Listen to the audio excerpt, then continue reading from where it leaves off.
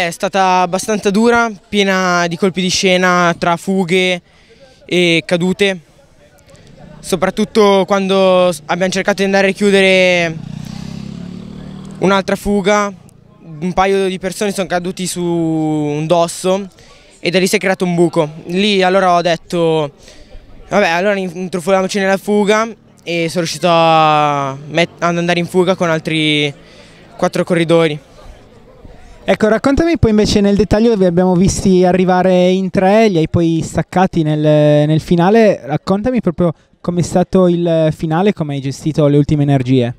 Eh, il finale è stato abbastanza complicato perché avevo intenzione già di partire prima, però sapendo che non, sapevo che non, avrei, non sarei riuscito a reggere tutto, tutta la distanza, poi in salita ho aspettato un po', ho cercato di mettermi in fondo al gruppetto di tre e uh, al momento più opportuno uh, sono partito e ho fatto il buco. A chi dedichi questa vittoria? La dedico a mio nonno che se n'è andato da pochi mesi.